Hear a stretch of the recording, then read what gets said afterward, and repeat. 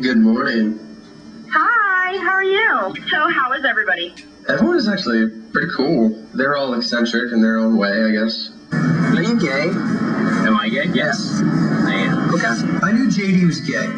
Not a problem. Oh, this guy probably has problems.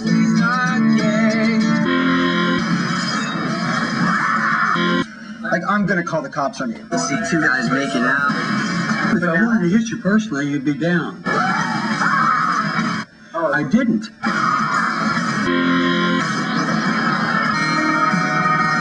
Now he's making threats. No, I'm not. You're okay. You're okay. Get this. There's eight of us. I don't like people putting their hands on me. When she wears the short shorts, I'm looking for some bulge. It was too smoking hot for thieves. You sound pretty good. I'm very curious about her. Four girls, four guys? Sorta. Next time you put your hands on me, I'm gonna call the cops on you, Holmes. Oh, And we're totally on the same page. Because then I go, okay. I need a drink.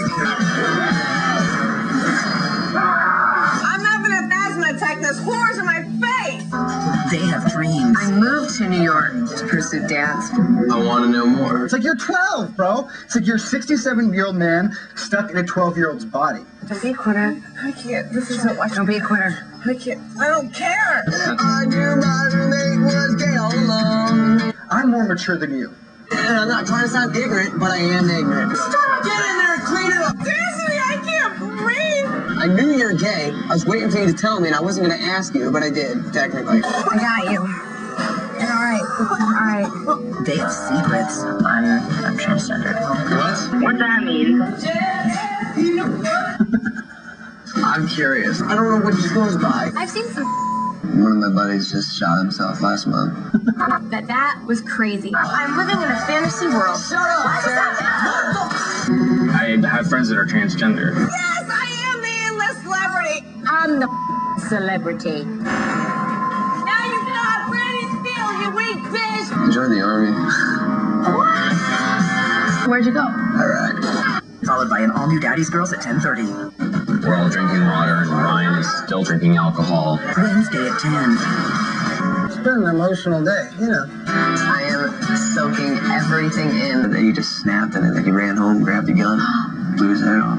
Oh, that's so sad. It's been tough for me. Has Whitney found true love in the city? Their lives may never be the same. Are open to alternative or different lifestyles. I'm so much more famous than you.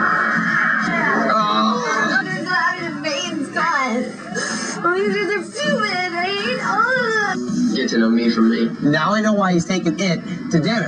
Eight of the most diverse people from different backgrounds living in a house in Brooklyn. We're all capable of taking care of ourselves. We're all adults. All new episode tomorrow at 10.